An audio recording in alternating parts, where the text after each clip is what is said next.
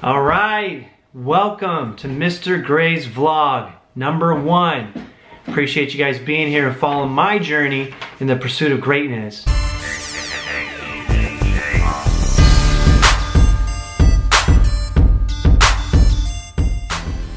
And hopefully the things that I'm doing and some of the things that I've learned along the way will inspire you, motivate you, or help you get further along with your goals and dreams as well. So this is gonna be usually a weekly vlog unless something really crazy happens to stall me or to make sure I get on camera right away for you guys. So let's recap the last seven or so days. Well, in our business, financial services, uh, we've recruited and are now training three new agents. So that's exciting. They're younger, they're ambitious, they're great people, they're competitive, and they're coachable. And that's exciting. We've already done plans for some of their friends and family, which is resulting in them following those plans, getting out of debt faster, saving a ton of money, uh, and getting on the road to financial independence. There's no better feeling than that. But to see the new agent learn that, get more excited about the business, and say, I could do that, that's really great. Uh, also, in that mix, we found two rip-off policies. One was one sold to a 20-year-old single girl paying way too much uh, for not enough coverage. And then one was to a family that had a lot of other extra benefits that were way overvalued or overpriced, I should say. So that was good to replace both of those. It's easy, guys. You get the policy, you break it down. It's good. Um, and one of the people we're training, he his family is five hours away. So we're able to do a screen share with his mom. She's ecstatic. It's great to see that she was skeptical at first. And by the time we were done, she's loving it and upping her commitment. So that was good. Uh, and, and most exciting in the business front in that area is Michelle has really grown. She was able to do an IBA on her own. She's able to do a fast start on her own and some other um, uh, appointments. So that was good. On the investment side of things, helped two clients invest uh, $50,000 in the last week or so. So that's good, get their money growing.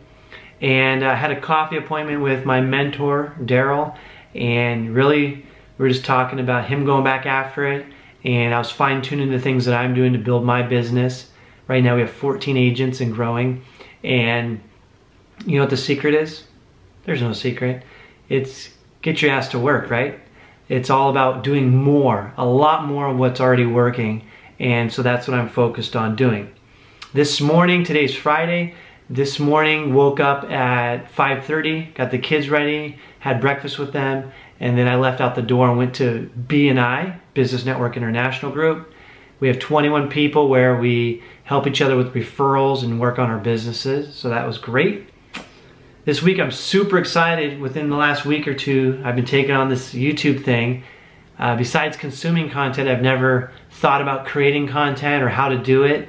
And so now I'm learning how to edit things. So these videos from an editorial uh, point of view is going to be better over the long run. Uh, I still got a lot to go there, but learning how to use all the apps, and it's really exciting. You know, when you're growing, when you're learning something new, when you're feeling challenged, what does that feel like to you?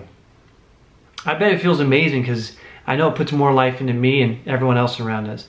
You know, Tony Robbins said, if you're growing and you're also being grateful, showing gratitude, or thinking about what you're grateful for, you're going to be happy no depression, no other stuff.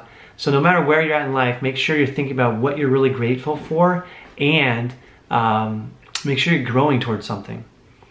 Uh, so YouTube's exciting. Also, my wife and I, we're focused on hitting the gym and getting healthy and fit again. We've been doing okay lately, but now we're on it more and more together, so that's great. And if you haven't seen it already, check on the channel. I did my first book review. Let me know your thoughts on, on if you liked it, what things could have been better, what things could have been worse. Again, over time, I know they're going to be better. But that was uh, exciting.